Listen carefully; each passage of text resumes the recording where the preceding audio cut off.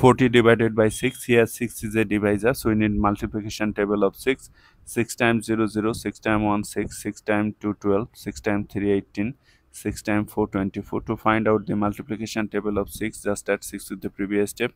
0 plus 6 0 plus 6 6 6 plus 6 12 12 plus 6 18 18 plus 6 24 24 plus 6 30 30 plus 6 36 36 plus 6 42 this process will continue 6 goes into 4 how many times? 0 times as 4 is less than 6 0 times 6 0 subtract 4 bring down the next digit.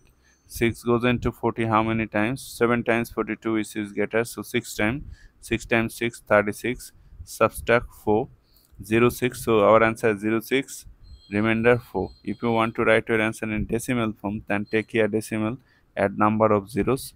Bring down the first zero before this zero there is a decimal decimal must come to the question directly. 6 goes into 40 how many times? 47 times which is 42 6 times.